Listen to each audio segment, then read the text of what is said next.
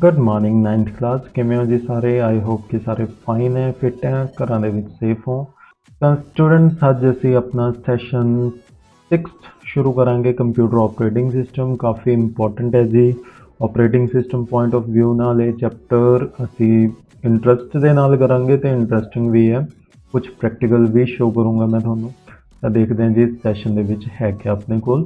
ਦੇਖੋ operating system ਦੇ ਬਾਰੇ ਆਪਾਂ ਨੂੰ ਦੱਸਿਆ ਹੋਇਆ ਇਸ ਸੈਸ਼ਨ ਦੇ ਵਿੱਚ ਤੇ ਉਸ ਦੇ ਬਾਰੇ ਅਸੀਂ ਪੜ੍ਹਦੇ ਹਾਂ। ਆਪਰੇਟਿੰਗ ਸਿਸਟਮ ਦੇ ਚਾਰ ਮੁੱਖ ਕੰਮ ਉੱਥੇ ਦੱਸੇ ਹੋਏ ਆ।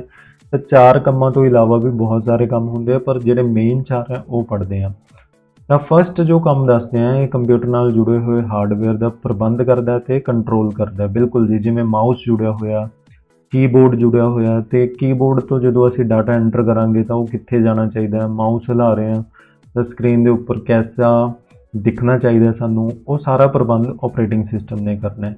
ਨੈਕਸਟ ਹੈ ਦੂਜੇ ਚੱਲ ਰਹੇ ਪ੍ਰੋਗਰਾਮ ਨੂੰ ਹਾਰਡਵੇਅਰ ਦੀ ਵਰਤੋਂ ਵਿੱਚ ਮਦਦ ਕਰਦਾ ਹੈ। ਬਿਲਕੁਲ ਜਿਵੇਂ ਮੰਨ ਲਓ ਮੈਂ ਗਾਣਾ ਚਲਾ ਰਿਹਾ ਤਾਂ ਗਾਣੇ ਦੇ ਲਈ ਸਾਨੂੰ ਸਪੀਕਰ ਦੀ ਲੋੜ ਪਏਗੀ ਆਵਾਜ਼ ਸੁਣਨ ਦੇ ਲਈ, ਤਾਂ ਇਹ ਵੀ ਸਾਰਾ ਮੈਨੇਜ ਕਰੇਗਾ ਆਪਰੇਟਿੰਗ ਸਿਸਟਮ ਨੈਕਸਟ ਹੈ, ਫਾਈਲਾਂ ਤੇ ਫੋਲਡਰ ਨੂੰ ਸੰਭਾਲ ਕੇ ਰੱਖਦਾ ਹੈ। ਜਿਵੇਂ ਮੰਨ ਲਓ ਜੋ ਵੀ ਡਾਟਾ ਅਸੀਂ ਕੰਪਿਊਟਰ ਦੇ ਵਿੱਚ ਐਂਟਰ ਕਰਦੇ ਹਾਂ, ਤਾਂ ਕੱਲ ਨੂੰ ਜੇ ਮੈਂ ਸਿਸਟਮ ਬੰਦ ਕਰਕੇ ਚਲਾਵਾਂ, ਤਾਂ ਉਹ ਡਿਲੀਟ ਨਹੀਂ ਹੋਣਾ ਚਾਹੀਦਾ, ਵਿੱਚ ਹੀ ਰਹਿਣਾ ਚਾਹੀਦਾ, ਇਹਦਾ ਵੀ ਪ੍ਰਬੰਧ ਕਰੇਗਾ। ਨੈਕਸਟ ਹੈ ਦੂਸਰੇ ਪ੍ਰੋਗਰਾਮ ਨਾਲ ਗੱਲਬਾਤ ਕਰਨ ਲਈ ਯੂਜ਼ਰ ਇੰਟਰਫੇਸ ਪ੍ਰਦਾਨ ਕਰਦੀ ਹੈ। ਤਾਂ ਆਪਰੇਟਿੰਗ ਸਿਸਟਮ ਇਹ ਵੀ ਦੱਸਦਾ ਸਾਨੂੰ ਕਿ GUI ਦੀ ਹੈਲਪ ਨਾਲ ਅਸੀਂ ਸੌਫਟਵੇਅਰਸ ਦੇ ਨਾਲ ਇੰਟਰੈਕਟ ਮਤਲਬ ਗੱਲ ਕਰ ਸਕਦੇ ਹਾਂ। ਜੇ ਮੰਨ ਲਓ ਮਾਈ ਕੰਪਿਊਟਰ ਓਪਨ ਕਰਨਾ ਹੈ ਤਾਂ ਅਸੀਂ ਫੋਟੋ ਦੇ ਉੱਪਰ ਜੋ ਮਾਈ ਕੰਪਿਊਟਰ ਦੇ ਆ, ਉਸ ਤੇ ਕਲਿੱਕ ਕਰਕੇ ਓਪਨ ਕਰ ਸਕਦੇ ਹਾਂ ਤਾਂ ਇਹ ਸੀਗੇ ਕੁਝ ਆਪਰੇਟਿੰਗ ਸਿਸਟਮ ਦੇ ਕੰਮ ਤੇ ਅੱਗੇ ਥੋੜਾ ਜਿਹਾ ਡਿਟੇਲ ਦੇ ਵਿੱਚ ਪੜ੍ਹਦੇ ਹਾਂ। ਆਪਰੇਟਿੰਗ ਸਿਸਟਮ ਦੀ ਵਰਤੋਂ ਪ੍ਰੋਗਰਾਮ ਦਾ ਆਪਸ ਵਿੱਚ ਕੰਮ ਕਰਨ ਦਾ ਤਰੀਕਾ ਅਤੇ ਉਹਨਾਂ ਦੁਆਰਾ ਕੰਪਿਊਟਰ ਹਾਰਡਵੇਅਰ ਦੀ ਵਰਤੋਂ ਨੂੰ ਕੰਟਰੋਲ ਕਰਦਾ ਹੈ। ਤਾਂ ਇਹ ਪੁਆਇੰਟ ਅਸੀਂ ਆਲਰੇਡੀ ਪੜ ਚੁੱਕੇ ਹਾਂ। ਦੈਨ ਫਾਈਲ ਸਿਸਟਮ ਦੀ ਰਚਨਾ ਕਰਦਾ ਹੈ। ਫਾਈਲ ਸਿਸਟਮ ਮਤਲਬ ਵੀ ਜਿੰਨੇ ਵੀ ਫੋਲਡਰ ਅਸੀਂ ਬਣਾ ਰਹੇ ਹਾਂ, ਉਹ ਸਾਰਾ ਸਾਨੂੰ ਸ਼ੋ ਕਰੇਗਾ। ਤੇ ਉਸ ਤੋਂ ਬਾਅਦ ਡਾਟਾ ਨੂੰ ਸਟੋਰ ਕਰਨ ਦੇ ਵਿੱਚ ਵੀ ਹੈਲਪ ਕਰੇਗਾ ਕਿ ਕਿਵੇਂ ਡਾਟਾ ਸਟੋਰ ਕਰਦਾ ਹੈ। ਤੇ ਉਸ ਤੋਂ ਬਾਅਦ ਹੈ ਜੋ ਮੇਨ ਪੁਆਇੰਟ ਹੈ ਆਪਰੇਟਿੰਗ ਸਿਸਟਮ ਦੀ ਸ਼ਮਤਾ ਇਸ ਗੱਲ ਤੇ ਨਿਰਭਰ ਕਰਦੀ ਹੈ ਕਿ ਇਹ ਕਿੰਨੀਆਂ ਬਿਟ ਇੱਕ ਸਮੇਂ ਵਿੱਚ ਭੇਜ ਸਕਦਾ ਹੈ। ਜੋ ਪੁਰਾਣੀ ਆਪਰੇਟਿੰਗ ਸਿਸਟਮ ਸੀ, ਉਹ 8 ਬਿਟ ਦਾ ਡਾਟਾ ਇੱਕ ਸਮੇਂ ਤੇ ਭੇਜ ਸਕਦੀ ਸੀ। ਹੁਣ ਰਾਜੇ ਇੱਥੇ ਮੈਨੂੰ ਇਹ ਮੰਨ ਕੇ ਚੱਲਣਾ ਚਾਹੀਦਾ ਕਿ ਤੁਹਾਨੂੰ ਬਿਟ ਬਾਈਟ ਦਾ ਚੰਗੀ ਤਰ੍ਹਾਂ ਪਤਾ ਲੱਗ ਗਿਆ ਪਿੱਛੇ ਆਪਾਂ ਦੋ ਵਾਰੀ ਕਵਰ ਵੀ ਕਰ ਚੁੱਕੇ ਹਾਂ। ਹੁਣ ਦੇਖੋ ਬਿਟ ਦੇ ਰੂਪ ਦੇ ਵਿੱਚ ਹੀ ਡਾਟਾ ਭੇਜਿਆ ਜਾਂਦਾ ਹੈ ਵਿੰਡੋਜ਼ ਦੁਆਰਾ। ਇੱਕ ਟਾਈਮ ਦੇ ਇੱਕ ਵਿੰਡੋ ਮਤਲਬ 8 ਬਿਟ ਇਟ ਮੀਨਸ ਕਿ ਇੱਕ ਬਾਈਟ ਦਾ ਡਾਟਾ ਜੋ ਭੇਜ ਰਹੀ ਹੈ ਤਾਂ ਉਹ ਬਹੁਤ ਸਲੋ ਕੰਮ ਕਰ ਰਹੀ ਹੈ, ਪੁਰਾਣੇ ਹੁੰਦੇ ਸੀ। ਪਰ ਹੁਣ ਜੋ ਹੈ, ਉਹ 32 ਬਿਟ ਹੈ ਤੇ 64 ਬਿਟ ਹੈ। ਇੰਨਾ ਡਾਟਾ ਇੱਕ ਟਾਈਮ ਤੇ ਭੇਜ ਸਕਦੇ ਹਾਂ, ਤਾਂ ਇਹ ਫਾਸਟ ਹੈ। ਤਾਂ ਹੁਣ ਜਿਹੜੇ ਜ਼ਿਆਦਾਤਰ ਚੱਲ ਰਹੇ ਹਨ 32 ਤੇ 64 ਬਿਟ ਚੱਲ ਰਹੇ ਹਨ ਜਿਵੇਂ ਮੇਰੀ ਵਿੰਡੋ ਦੀ ਅਗਰ ਗੱਲ ਕਰਾਂ ਮੈਂ, ਤਾਂ ਇਹ 32 ਬਿਟ ਆਪਰੇਟਿੰਗ ਸਿਸਟਮ ਹੈ। ਤਾਂ ਇਸ ਚੀਜ਼ ਤੇ ਡਿਪੈਂਡ ਕਰੇਗਾ ਕਿ ਤੁਹਾਡੀ ਜੋ ਵਿੰਡੋ ਹੈ ਜਾਂ ਆਪਰੇਟਿੰਗ ਸਿਸਟਮ ਹੈ, ਉਹ ਕਿੰਨੇ ਬਿਟਸ ਤੇ ਕੰਮ ਕਰ ਰਹੀ ਹੈ। ਨੈਕਸਟ ਆਪਰੇਟਿੰਗ ਸਿਸਟਮ ਜਿਵੇਂ ਕਿ ਵਿੰਡੋ ਵਿਸਟਾ GUI ਪ੍ਰਦਾਨ ਕਰਦੇ ਆ। ਕੰਪਿਊਟਰ ਨੂੰ ਹਦਾਇਤਾਂ ਦੇਣੀਆਂ ਸੌਖੀਆਂ ਹੋ ਜਾਂਦੀਆਂ ਨੇ ਇਸ ਦੇ ਨਾਲ। GUI ਮਤਲਬ ਜੋ ਤੁਸੀਂ ਡੈਸਕਟਾਪ ਤੇ ਸਕਰੀਨ ਤੇ ਦੇਖਦੇ ਹੋ। ਜਿਵੇਂ ਮੰਨ ਲਓ ਅਗਰ ਮੈਂ ਇਹਨਾਂ ਨੂੰ ਹਾਈਲਾਈਟ ਕਰਨਾ ਤਾਂ ਇਹ ਦੇਖੋ ਮਾਊਸ ਜਿੱਥੇ ਮੇਰਾ ਹਿੱਲ ਰਿਹਾ ਇਸ ਦੇ ਨਾਲ T ਲਿਖਿਆ ਆ ਰਿਹਾ ਤਾਂ ਇਸ ਤੋਂ ਮੈਨੂੰ ਸਮਝ ਆ ਰਿਹਾ ਕਿ ਇਹ ਹਾਈਲਾਈਟਰ ਹੈ।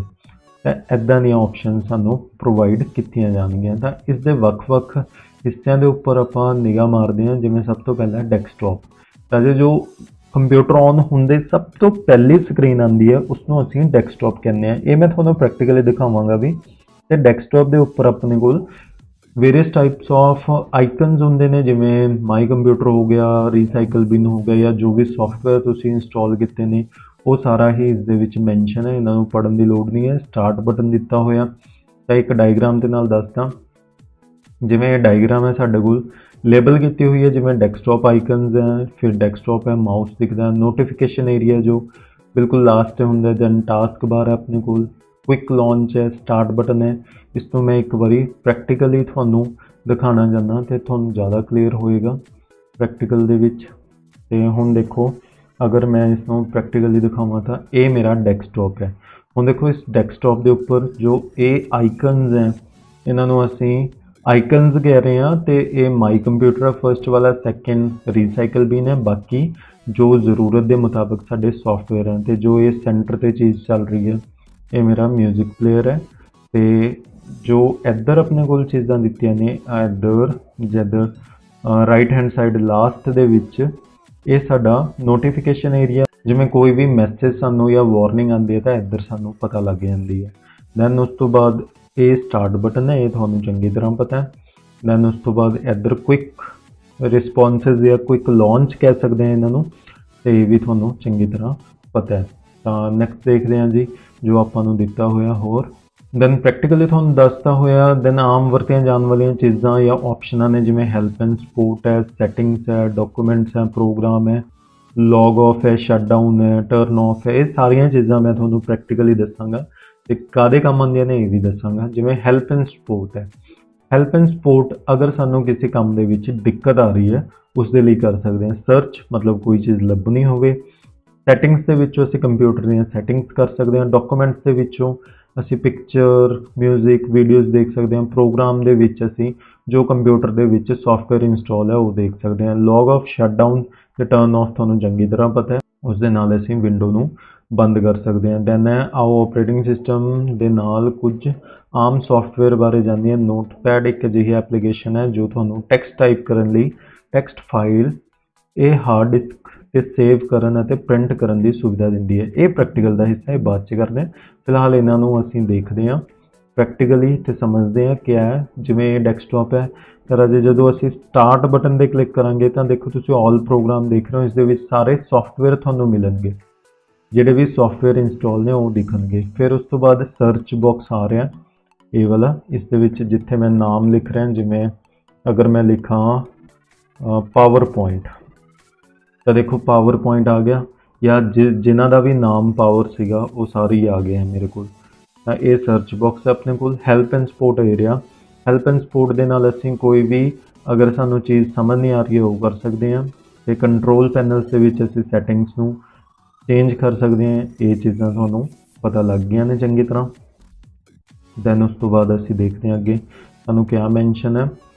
ਨੋਟਪੈਡ ਵਾਲਾ ਪ੍ਰੈਕਟੀਕਲ ਸੀ ਇਸ ਨੂੰ ਦੇਖਦੇ ਹਾਂ। ਬਾਅਦ 'ਚ ਪਹਿਲਾਂ ਹਾਰਡ ਡਿਸਕ ਦੇਖਦੇ ਹਾਂ ਜੋ ਸਾਡੇ ਕੰਪਿਊਟਰ ਦੇ ਵਿੱਚ ਹੁੰਦੀ ਹੈ ਮਾਈ ਕੰਪਿਊਟਰ ਜਦੋਂ ਅਸੀਂ ਓਪਨ ਕਰਦੇ ਹਾਂ, ਤਾਂ ਕੁਝ ਐਸੀ ਡਾਇਗਰਾਮਸ ਆਪਾਂ ਨੂੰ ਦਿਖਦੀਆਂ ਨੇ। ਦੇਖੋ ਜਿਹੜੀ ਲੋਕਲ ਡਿਸਕ ਸੀ ਹੈ ਤੇ ਉਸ ਦੇ ਉੱਪਰ ਐਸਾ ਕੁਝ ਵਿੰਡੋ ਦਾ ਨਿਸ਼ਾਨ ਬਣਿਆ ਹੋਵੇਗਾ। ਉਹ ਮੇਨ ਹੈ। ਇਹਨਾਂ ਦੇ ਵਿੱਚੋਂ ਰਾਜੇ ਕੁਝ ਡਿਲੀਟ ਨਹੀਂ ਕਰਨਾ ਚਾਹੀਦਾ। ਅਗਰ ਆਪਾਂ ਡਿਲੀਟ ਕਰਦੇ ਹਾਂ ਤਾਂ ਸਾਡਾ ਕੰਪਿਊਟਰ ਕਈ ਵਾਰੀ ਖਰਾਬ ਹੋ ਜਾਂਦਾ ਜਾਂ ਵਿੰਡੋ ਕਰਪਟ ਹੋ ਜਾਂਦੀ ਹੈ। ਦੇਖੋ ਲੋਕਲ ਡਿਸਕ ਸੀ ਦਿੱਤੀ ਹੋਈ ਹੈ, ਇਸ ਦੇ ਵਿੱਚ ਆਪਣੀ ਵਿੰਡੋ ਹੁੰਦੀ ਹੈ। ਜ਼ਰੂਰੀ ਨਹੀਂ ਇਸ ਦੇ ਵਿੱਚ ਹੋਵੇ, ਕਿਸੇ ਦੇ ਵਿੱਚ ਵੀ ਹੋ ਸਕਦੀ ਹੈ, ਪਰ ਸਾਨੂੰ ਥੋੜਾ ਜਿਹਾ ਧਿਆਨ ਰੱਖਣਾ ਚਾਹੀਦਾ ਹੈ। ਦੈਨ ਡੀਵੀਡੀ ਆ ਰਹੀ ਹੈ, ਅਗਰ ਤੁਸੀਂ ਡੀਵੀਡੀ ਵਗੈਰਾ ਚਲਾਉਂਦੇ ਹੋ। ਰਿਮੂਵੇਬਲ ਡਿਸਕ ਆ ਰਹੀ ਹੈ, ਅਗਰ ਪੈਨ ਡਰਾਈਵ ਵਗੈਰਾ ਜਾਂ ਮੈਮਰੀ ਕਾਰਡ ਲਗਾ ਰਹੇ ਹੋ। ਲੈਗਜ਼ਰ ਆ ਰਿਹਾ, ਕੋਈ ਹੋਰ ਹਾਰਡ ਡਰਾਈਵ ਹੈ ਸੀਗੇਟ ਆ ਰਿਹਾ ਇਹ ਵੀ ਤੁਸੀਂ ਅਗਰ ਹਾਰਡ ਡਿਸਕ ਲਗਾਉਂਦੇ ਹੋ WD ਇਹ ਵੀ ਹਾਰਡ ਡਿਸਕ ਹੈ। ਪੈਨ ਡਰਾਈਵ ਵਗੈਰਾ ਜਿਵੇਂ ਲਗਾਉਂਦੇ ਆ ਆਪਾਂ। ਦੈਨ HD DVD ROM ਹੈ। ਤਾਂ ਇਹ ਵੀ ਅਗਰ CD ਵਗੈਰਾ ਤੁਸੀਂ ਯੂਜ਼ ਕਰਦੇ ਹੋ, ਤਾਂ ਐਦਾਂ ਦਾ ਸ਼ੋ ਹੁੰਦਾ ਇਹ ਮੈਂ ਤੁਹਾਨੂੰ ਪ੍ਰੈਕਟੀਕਲੀ ਇੱਕ ਵਾਰੀ ਦਿਖਾਣਾ ਮਾਈ ਕੰਪਿਊਟਰ ਜੋ ਮੇਰੇ ਕੋਲ ਹੈ, ਇਹ ਮੇਰਾ ਮਾਈ ਕੰਪਿਊਟਰ ਹੈ। ਪਰ ਮੈਂ ਆਲਰੇਡੀ ਇੱਥੇ ਨਾਮ ਲਿਖ ਕੇ ਰੱਖੇ ਹੋਏ ਆ ਇਹਨਾਂ ਦੇ, ਤਾਂ ਮੈਨੂੰ ਇੰਨੀ ਦਿੱਕਤ ਨਹੀਂ ਆਂਦੀ ਹੁਣ ਇਹ ਹਾਰਡ ਡਿਸਕ ਦੇ ਤਿੰਨ ਹਿੱਸੇ ਆ। ਜਿਵੇਂ ਮੇਰੇ ਕੋਲ 500 GB ਹਾਰਡ ਡਿਸਕ ਹੈ, ਤਾਂ ਇਹਨਾਂ ਦੇ ਮੈਨੇ ਤਿੰਨ ਹਿੱਸੇ ਬਣਾਏ ਹੋਏ ਆ। ਤੇ CD ਦਾ ਦਿਖ ਰਿਹਾ, ਅਗਰ ਮੈਂ ਪੈਨ ਡਰਾਈਵ ਲਗਾਵਾਂਗਾ ਤਾਂ ਪੈਨ ਡਰਾਈਵ ਦਾ ਦਿਖਣ ਲੱਗ ਜਾਏਗਾ। ਤਾਂ ਐਦਾਂ ਦੀਆਂ ਚੀਜ਼ਾਂ ਆਪਣੇ ਕੋਲ ਹੁੰਦੀਆਂ ਨੇ। ਨੈਕਸਟ ਆਂਦੇ ਆਪਣੇ ਕੋਲ, ਜੋ ਦਿੱਤਾ ਹੋਇਆ ਸਾਨੂੰ ਬੁੱਕ ਦੇ ਵਿੱਚ, ਕਿ ਇਹਨਾਂ ਦੇ ਨਾਲ ਜੋ ਲੈਟਰ ਲਿਖੇ ਹੁੰਦੇ ਨੇ, ਜਿਵੇਂ A ਤੋਂ Z ਤੱਕ ਹੋ ਸਕਦੇ ਨੇ। ਉਹ ਡਿਪੈਂਡ ਕਰੇਗਾ ਕਿ ਆਪਾਂ ਕਿਵੇਂ ਯੂਜ਼ ਕਰਦੇ ਹਾਂ। ਇਹਨਾਂ ਨੂੰ ਬਾਅਦ 'ਚ ਚੇਂਜ ਵੀ ਕਰ ਸਕਦੇ ਹਾਂ ਤਾਂ ਇਹਨਾਂ ਨੂੰ ਯਾਦ ਨਹੀਂ ਰੱਖਣਾ ਚਾਹੀਦਾ ਵੀ ਹਾਂ ਸੀ ਵਿੰਡੋ ਦੀ ਹੈ, F ਪੈਨ ਡਰਾਈਵ ਦੀ ਹੈ ਐਦਾਂ ਦਾ ਕੁਝ ਸਿਸਟਮ ਨਹੀਂ ਹੈ। ਇਹ ਬਾਅਦ 'ਚ ਚੇਂਜ ਵੀ ਹੋ ਸਕਦੇ ਨੇ ਤਾਂ ਇਹਨਾਂ ਨੂੰ ਯਾਦ ਕਰਨਾ ਸਹੀ ਚੀਜ਼ ਨਹੀਂ ਹੈ। ਜੇ ਯਾਦ ਕਰਦੇ ਵੀ ਹੋ ਤਾਂ ਬਾਈ ਚਾਂਸ ਜੇ ਕੋਈ ਚੇਂਜ ਕਰ ਦਿੰਦਾ ਤਾਂ ਪ੍ਰੋਬਲਮ ਆਂਦੀ ਹੈ। ਦੈਨ ਉਸ ਤੋਂ ਬਾਅਦ ਫੋਲਡਰ ਤੇ ਫਾਈਲ ਦੀ ਵਰਤੋਂ ਬਾਰੇ ਦੱਸਿਆ ਹੋਇਆ ਕਿ ਨੋਟਪੈਡ ਦੇ ਵਿੱਚ ਅਸੀਂ ਇੱਕ ਫਾਈਲ ਬਣਾਉਣੀ ਹੈ ਤੇ ਉਸ ਨੂੰ ਸੇਵ ਕਰਨਾ ਹੈ।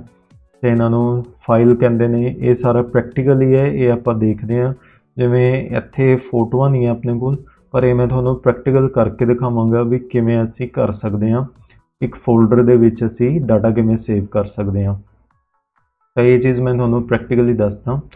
ਦੈਨ ਉਸ ਤੋਂ ਬਾਅਦ ਯੂਜ਼ਰ ਇੰਟਰਫੇਸ ਯੂਜ਼ਰ ਇੰਟਰਫੇਸ ਹੁੰਦਾ ਹੈ ਕਿ ਆਪਰੇਟਿੰਗ ਸਿਸਟਮ ਦਾ ਉਹ ਭਾਗ ਜਿਸ ਦੇ ਨਾਲ ਇੱਕ ਕੰਪਿਊਟਰ ਚਲਾਉਣ ਵਾਲਾ ਵਿਅਕਤੀ ਕੰਪਿਊਟਰ ਦੇ ਨਾਲ ਗੱਲ ਕਰ ਸਕਦਾ ਹੈ। ਜਿਵੇਂ ਦੇਖੋ, ਅਗਰ ਮੈਂ ਗੱਲ ਕਰਾਂ ਕਿ ਇੱਥੇ ਮੈਨੇ ਕੁਝ ਟਾਈਪ ਕਰਨਾ ਹੈ, ਜੋ ਯੈਲੋ ਜਿਹਾ ਏਰੀਆ ਆ ਰਿਹਾ, ਇੱਥੇ ਮੈਨੇ ਕੁਝ ਟਾਈਪ ਕਰਨਾ ਹੈ, ਤਾਂ ਮੈਂ ਮਾਊਸ ਦੇ ਨਾਲ ਈਜ਼ੀਲੀ ਟਾਈਪ ਕਰ ਸਕਦਾ ਜਾਂ ਫਿਰ ਜੋ ਵੀ ਕਲਿੱਕ ਕਰਕੇ ਆਪਸ਼ਨ ਆਏਗੀ, ਉਸ ਦੇ ਨਾਲ ਈਜ਼ੀਲੀ ਟਾਈਪ ਕਰ ਸਕਦਾ ਜਾਂ ਫੋਟੋਜ਼ ਤੇ ਕਲਿੱਕ ਕਰਕੇ ਮਾਈ ਕੰਪਿਊਟਰ ਚਲਾ ਸਕਦਾ ਜਾਂ ਗਾਣੇ ਚਲਾ ਸਕਦਾ ਜਾਂ ਪੇਂਟ ਚਲਾ ਸਕਦਾ, ਤਾਂ ਐਦਾਂ ਦੀਆਂ ਚੀਜ਼ਾਂ ਨੂੰ ਅਸੀਂ ਯੂਜ਼ਰ ਇੰਟਰਫੇਸ ਕਹਿੰਦੇ ਆ ਵੀ ਜੋ ਸੌਫਟਵੇਅਰ ਤੇ ਮੇਰੇ ਵਿਚਕਾਰ ਇੱਕ ਇੰਟਰਫੇਸ ਹੋਵੇ। ਦੈਨ ਆਪਣੇ ਕੋਲ ਹੈ ਸਿਸਟਮ ਨੂੰ ਦਰੁਸਤ ਰੱਖਣ ਦੀ ਯੂਟਿਲਿਟੀ ਮੀਨਸ ਕਿ ਕੋਈ ਪ੍ਰੋਗਰਾਮ ਜਿਸ ਦੇ ਨਾਲ ਅਸੀਂ ਆਪਣੇ ਕੰਪਿਊਟਰ ਨੂੰ ਟਰਬਲ ਸ਼ੂਟ ਕਰ ਸਕਦੇ ਹਾਂ, ਜਿਵੇਂ ਹੈਲਪ ਐਂਡ ਸਪੋਰਟ ਦੇ ਵਿੱਚ ਸੀਗਾ, ਤਾਂ ਉਸ ਦੇ ਨਾਲ ਅਸੀਂ ਈਜ਼ੀਲੀ ਕਰ ਸਕਦੇ ਹਾਂ। ਇੱਕ ਵਾਰੀ ਪੜ੍ਹਦੇ GUI ਆਧਾਰਿਤ ਆਪਰੇਟਿੰਗ ਸਿਸਟਮ ਤੁਹਾਡੇ ਕੰਪਿਊਟਰ ਨੂੰ ਦਰੁਸਤ ਰੱਖਣ ਲਈ ਆਸਾਨੀ ਨਾਲ ਵਰਤੇ ਜਾਂਦੇ ਯੂਟਿਲਿਟੀ ਪ੍ਰਦਾਨ ਕਰਦੀ ਹੈ। ਇਹ ਯੂਟਿਲਿਟੀ ਛੋਟੇ ਪ੍ਰੋਗਰਾਮ ਹੁੰਦੇ ਨੇ, ਖਾਸ ਕੰਮ ਕਰਨ ਲਈ ਵਰਤੇ ਜਾਂਦੇ ਨੇ, ਜਿਵੇਂ ਕਿ ਨੈਟਵਰਕ ਨਾਲ ਜੋੜਨਾ, ਸਰੋਤਾਂ ਦਾ ਪ੍ਰਬੰਧ ਕਰਨਾ, ਨਵੇਂ ਪ੍ਰੋਗਰਾਮ ਨੂੰ ਕੰਪਿਊਟਰ ਵਿੱਚ ਜੋੜਨਾ, ਤਾਂ ਇਹ ਯੂਟਿਲਿਟੀ ਪ੍ਰੋਗਰਾਮ ਹੈ। ਇਦਾਂ ਦੇ ਕੁਝ ਸੌਫਟਵੇਅਰ ਹੈ, ਜਿਨ੍ਹਾਂ ਦੇ ਨਾਲ ਅਸੀਂ ਕੰਪਿਊਟਰ ਨੂੰ ਸਹੀ ਰੱਖ ਸਕਦੇ ਹਾਂ। ਦੈਨ ਨੈਕਸਟ ਹੈ ਕੰਪਿਊਟਰ ਸਾਧਨਾਂ ਦਾ ਪ੍ਰਬੰਧ ਕਰਨਾ। ਜਿਵੇਂ ਕਿ ਜੋ ਵੀ ਹਾਰਡਵੇਅਰ ਹੈ ਸਾਡੇ ਕੰਪਿਊਟਰ ਦੇ ਵਿੱਚ ਉਹਨਾਂ ਨੂੰ ਸਹੀ ਠੀਕ ਠਾਕ ਢੰਗ ਨਾਲ ਚਲਾਏ ਰੱਖਣਾ, ਤਾਂ ਪੜ੍ਹਦੇ ਹਾਂ ਇਸ ਦੇ ਵਿੱਚ ਕੀ ਹੈ ਆਪਰੇਟਿੰਗ ਸਿਸਟਮ ਹਾਰਡਵੇਅਰ ਦਾ ਪ੍ਰਬੰਧ ਕਰਨ ਵਿੱਚ ਮਦਦ ਕਰਦਾ ਹੈ। ਜ਼ਰੂਰਤ ਅਨੁਸਾਰ ਕੰਮ ਪੂਰਾ ਕਰਨ ਲਈ ਲੋੜੀਂਦੇ ਹਾਰਡਵੇਅਰ ਜਿਵੇਂ ਕਿ CPU ਪ੍ਰੋਗਰਾਮ ਆਪਰੇਟਿੰਗ ਸਿਸਟਮ ਨਾਲ ਕਮਿਊਨੀਕੇਟ ਕਰਦਾ ਹੈ। ਤਾਂ ਇਹ ਰਾਜੇ ਜੋ ਸਟੈਪਸ ਦਿੱਤੇ ਹੋਏ ਨੇ ਆਪਾਂ ਨੂੰ, ਇਹ ਦੱਸਿਆ ਹੋਇਆ ਕਿ ਵਿੰਡੋ ਜਾਂ ਆਪਰੇਟਿੰਗ ਸਿਸਟਮ ਆਪਣੇ ਲਈ ਕੀ ਕੀ ਕਰਦਾ ਹੈ। ਪਹਿਲਾਂ ਡਾਟਾ ਨੂੰ ਸੁਰੱਖਿਅਤ ਰੱਖਣ ਦੀ ਯੂਜ਼ਰ ਦੀ ਕੰਪਿਊਟਰ ਤੱਕ ਪਹੁੰਚ ਨੂੰ ਕੰਟਰੋਲ ਕਰਦਾ ਜਿਵੇਂ ਅਸੀਂ ਪਾਸਵਰਡ ਵਗੈਰਾ ਲਗਾਉਂਦੇ ਆ ਆਪਣੇ ਡਾਟਾ ਨੂੰ ਸੁਰੱਖਿਅਤ ਰੱਖਣਾ ਹੋਵੇ ਤਾਂ ਵੀ ਵਿੰਡੋ ਸਾਨੂੰ ਪਾਸਵਰਡ ਦੀ ਆਪਸ਼ਨ ਦਿੰਦਾ ਹੈ। ਜਿਵੇਂ ਇੱਥੇ ਵੀ ਲਿਖਿਆ ਹੋਇਆ ਪਾਸਵਰਡ ਦੀ ਆਪਸ਼ਨ ਦੇ ਰਿਹਾ ਸਾਨੂੰ।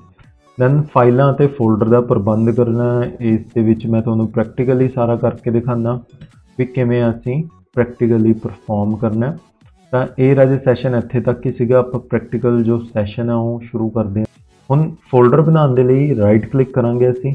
ਨਿਊ ਤੇ ਜਾਵਾਂਗੇ। ਨਿਊ ਤੋਂ ਬਾਅਦ ਆਪਣੇ ਕੋਲ ਆਪਸ਼ਨ ਹੈ ਫੋਲਡਰਸ ਦੀ। ਤਾਂ ਫੋਲਡਰ ਤੇ ਕਲਿੱਕ ਕਰਾਂਗੇ ਤਾਂ ਤੁਸੀਂ ਦੇਖੋਗੇ, ਇਹ ਸਾਡਾ ਫੋਲਡਰ ਬਣ ਚੁੱਕਿਆ ਇੱਥੇ ਨਿਊ ਫੋਲਡਰ ਇਸ ਨੂੰ ਅਗਰ ਰੀਨੇਮ ਕਰਨਾ ਹੈ, ਤਾਂ ਰਾਈਟ ਕਲਿੱਕ ਕਰਕੇ ਦੈਨ ਰੀਨੇਮ ਆਪਸ਼ਨਸ ਤੇ ਕਲਿੱਕ ਕਰ ਸਕਦੇ ਹਾਂ। ਜਿਵੇਂ ਮੈंने ਇਸ ਦਾ ਨਾਮ ਰੱਖਤਾ 9th IT ਦੈਨ ਇਸ ਨੂੰ ਓਪਨ ਕਰਨ ਲਈ ਡਬਲ ਕਲਿੱਕ ਜਾਂ ਰਾਈਟ ਕਲਿੱਕ ਕਰਕੇ ਓਪਨ ਤੇ ਕਲਿੱਕ ਕਰ ਸਕਦੇ ਹਾਂ। ਇਹ ਫੋਲਡਰ ਓਪਨ ਹੋ ਗਿਆ ਤੇ ਜੋ ਵੀ ਕੰਮ ਕਰਨਾ ਹੈ ਇਸ ਦੇ ਵਿੱਚ ਅਸੀਂ ਕਰ ਸਕਦੇ ਹਾਂ। ਸਾਈਡ ਦੇ ਵਿੱਚ ਆਪਣੇ ਕੋਲ ਫੋਲਡਰ ਦਾ ਟ੍ਰੀ ਬਣਿਆ ਹੋਇਆ ਹੈ। ਇਸ ਦੇ ਨਾਲ ਅਸੀਂ ਕੀ ਕਰ ਸਕਦੇ ਹਾਂ? ਆਪਣੇ ਫੋਲਡਰਸ ਨੂੰ ਦੇਖ ਸਕਦੇ ਹਾਂ। ਜਿਵੇਂ ਮੰਨ ਲਓ ਮੈਂ ਡਾਟਾ ਵਾਲੀ ਡਰਾਈਵ ਅਗਰ ਓਪਨ ਕਰਾਂ, ਤਾਂ ਦੇਖੋ ਇਸ ਦੇ ਵਿੱਚ ਕਾਫੀ ਫੋਲਡਰ ਆ ਗਏ ਤਾਂ ਇਧਰੋਂ ਵੀ ਅਸੀਂ ਓਪਨ ਕਰ ਸਕਦੇ ਹਾਂ। ਜਿਵੇਂ ਮੈਂ ਇਹ ਵਾਲਾ ਓਪਨ ਕਰਕੇ ਦਿਖਾਉਂਦਾ ਤਾਂ ਤੁਹਾਡੇ ਵਰਗੇ ਸਟੂਡੈਂਟਸ ਦੀ ਕੁਝ ਫੋਟੋਆਂ ਪਈਆਂ ਨੇ। ਮੈਂ ਇੱਕ ਫੋਟੋ ਦਿਖਾਉਂਦਾ। ਦੇਖੋ, ਇਹ ਤੁਹਾਡੇ ਵਰਗੇ ਹੀ ਹੈ। ਤਾਂ ਇਦਾਂ ਜੇ ਆਪਾਂ ਕਰ ਸਕਦੇ ਹਾਂ ਤੇ ਆਈ ਹੋਪ ਕਿ ਸੈਸ਼ਨ ਤੁਹਾਨੂੰ ਸਮਝ ਆ ਗਿਆ ਹੋਵੇਗਾ। ਇਸ ਦੇ ਵਿੱਚ ਇੰਨਾ ਹੀ ਸੀਗਾ। ਕੱਟ ਕਾਪੀ ਪੇਸਟ ਵਾਲਾ ਮੈਂ ਨੈਕਸਟ ਸੈਸ਼ਨ ਦੇ ਵਿੱਚ ਕਵਰ ਕਰਾਂਗਾ। ਉਸ ਦੇ ਵਿੱਚ ਜ਼ਿਆਦਾ ਸਮਝ ਆਏਗਾ।